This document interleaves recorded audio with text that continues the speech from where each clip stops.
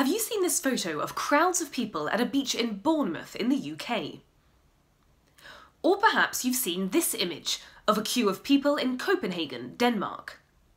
Or this restaurant in Texas in the United States, with tables, customers, and servers too close together.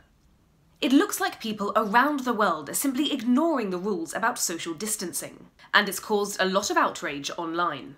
These are the selfish idiots who are making it worse and dragging lockdown out. If the virus death toll and infection rates start to rise, then you'll know who to blame. Or imagine being so selfish you'd risk the lives of others just so you can eat in a restaurant. Incomprehensibly reckless. But even photos can be deceiving. Let's take a look at the photo from Denmark and look at it from another angle. Danish TV channel TV2 sent two photographers around the city of Copenhagen to take photos of the same scenes, but with different results. This photo has been taken with a telephoto lens. It has the effect of compressing the image so things seem closer together than they really are.